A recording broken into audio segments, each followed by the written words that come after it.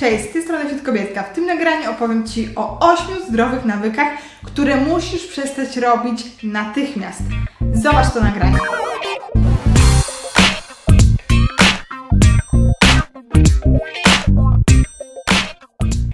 Pierwszy nawyk, przestań pić zielone smoothie. Wiem, że wiele osób pije bardzo często, nawet jako przekąskę, zielony smoothie ze względu na to, że jest ono powszechnie znane jako zdrowe. Niestety, zielonego jest tam bardzo często mało, są to przeważnie 20 szpinaku, a te 20 szpinaku, wierzcie mi, to jest naprawdę nic. Za to bardzo często dorzucane są owoce, czyli fruktoza, cukier i pijemy dodatkowe kalorie. To sprawia, że nie jesteśmy na deficycie kalorii i efektów w diecie i treningu może nie być. Jeżeli chcesz, aby takie smoothie było pełnowartościowe, to koniecznie dodaj jakąś porcję białka i trochę więcej tego zielonego, bo naprawdę 20 szpinaków to za mało. Punkt numer dwa. Ostre obcięcie kalorii.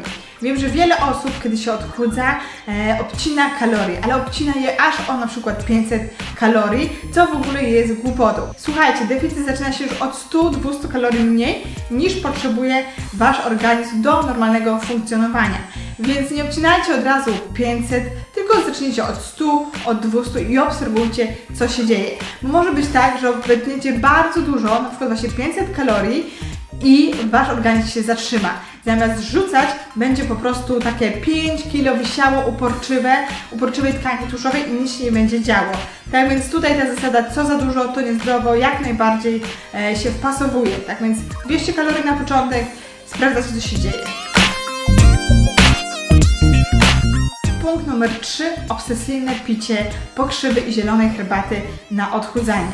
Słuchajcie, Oczywiście, można takie rzeczy pić jak najbardziej, ale niech to nie będzie w nadmiarze, bo tak naprawdę i zielona herbata, e, i inne e, zioła, które wydają się być zdrowe, mogą przynieść Wam dużo szkody. Mogą Wam wysuszyć organizm i tak naprawdę będziecie się czuć bardzo, bardzo źle. Więc przede wszystkim oczywiście we wszystkim umiar. Więc picie herbaty, ok, jedna na dzień maksymalnie, ale nie dodawajcie do tego pokrzywy, jakichś olejów i tysiąca innych rzeczy, bo po prostu już sami nie będziecie wiedzieć, co działa przede wszystkim i co Wam pomaga. Nawyk numer 4. Obsesyjne liczenie kalorii. Ja prowadzę bardzo dużo kobiet i zauważam, że niektóre właśnie chcą być aż za bardzo zdrowe i zaczynają mocno liczyć kalorie. Do tego stopnia, że liczycie i sprawdzacie kalorie z wody. Nie zrozumcie mnie źle, oczywiście, liczenie kalorii jest bardzo ważne, fajnie, że znacie makro, ale nie możecie tego robić na każdej imprezie, nie możecie tego robić non-stop, bo po prostu zgłupiejecie. I oczywiście, jeżeli jesteś osobą, która się przygotowuje do zawodów, albo masz jakiś cel sylwetkowy mocny, to jak najbardziej. Te kalorie liczyć możesz, e, rób to, ale nie osoby, które po prostu chcą schudnąć, chcą zmienić swoje nawyki na zdrowe. Ponieważ naprawdę wpędzicie się w taki kozi róg i będziecie wkurzeni, jeżeli zjecie co jakiś czas nadwyżkę kalorii, już będziecie myśleć, że Wam to zaszkodzi, a tak naprawdę na cel sylwetkowy nie będzie miało to większego znaczenia. Ważne jest też, że na przykład ja w swoich rozpiskach bardzo często nie wliczę kalorii z warzyw. Uważam, że są one błonnikiem, wodą, są niskokaloryczne, więc tutaj macie dowolność, jecie ile chcecie.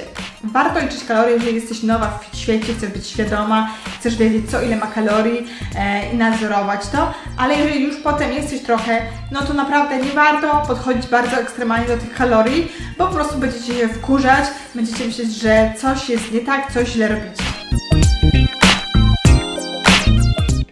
Nawyk numer 5. Jedzenie czegoś, co jest organiczne, bio albo eko.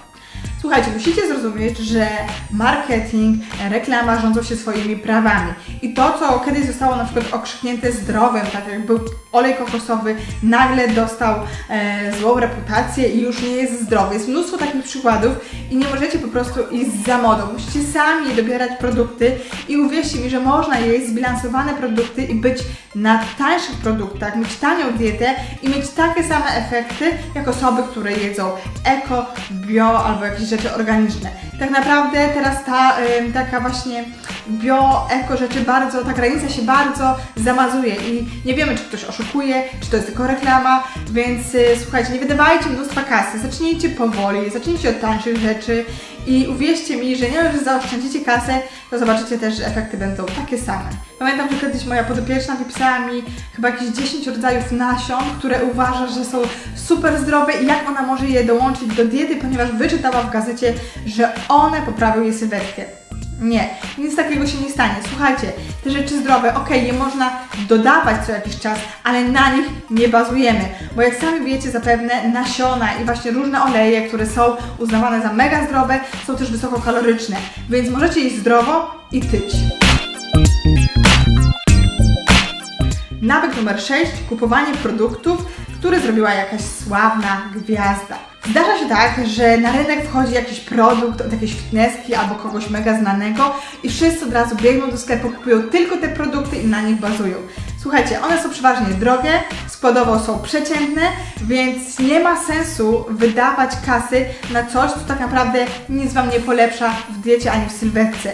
Ja sama kiedyś spróbowałam kilku takich batonów od gwiazd i zastanawiam się, jak ludzie mogą to jeść, bo dla mnie to jest po prostu e, taki zlepek surowych rzeczy, które w ogóle nie smakują dobrze i wolę 100 razy bardziej zjeść na przykład coś świeżego, jakiś owoc, a nie zapychać się takim niesmacznym po prostu batonem, który do tego kosztuje 11 zł i w górę. Nawyk numer 7 ucinanie soli z diety. Wiele osób uznaje sól za coś szkodliwego, niezdrowego, bo tak kiedyś e, została okrzyknięta. I słuchajcie, to jest ogromny błąd. Osoby, które trenują, muszą mieć sól w diecie.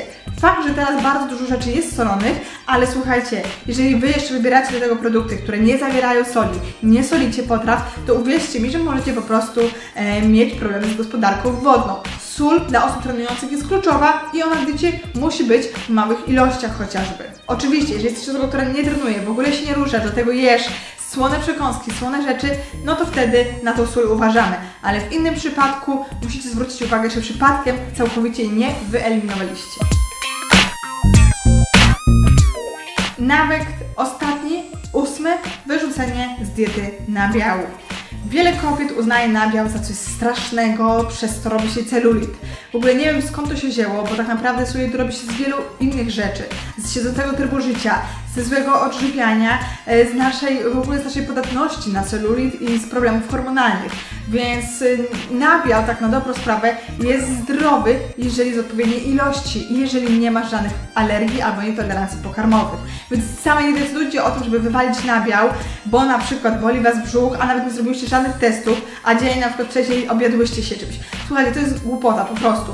Więc nabiał nawet dla kobiet w ciąży, które karmią, jest kluczowy i tutaj on musi być. Nawet kobietom w ciąży poleca się e, rzeczy z dodatkowym wapniem, e, ze wzbogaconym właśnie wapniem, więc tak naprawdę on w diecie powinien być, jeżeli jest oczywiście mm, dla Ciebie zdrowy i jeżeli jest odpowiedni. Więc jeżeli kiedykolwiek przyjdzie Wam do głowy coś wyeliminować samemu z diety, to pamiętajcie o tym, że jeżeli to wyeliminujecie, to może Wam to też zaszkodzić, niekoniecznie może pomóc. Dlatego nie decydujcie same, bez żadnych badań, bez y, jakiejś rozmowy z dietetykiem czy trenerem o tym, co Wam szkodzi, a co nie, bo uwierzcie mi, że bardzo często nasz organizm oszukuje i to, co nam się wydaje, wcale takim nie jest. Tak więc nabiał dla kobiet jak najbardziej jest skazany w odpowiedniej ilości. To by było na tyle. Dajcie mi znać, czy któryś z tych nawyków był albo jest u Was. Jestem bardzo ciekawa. Ja się przyznam, że ja miałam właśnie tą fazę z nabiałem, kiedy się dużo naczytałam. E, no i miałam też kiedyś właśnie fazę z bioorganicznym życiem. Kosztowało mnie to miliony monet, więc zrezygnowałam, a efekty są lepsze. Pozdrawiam Marta.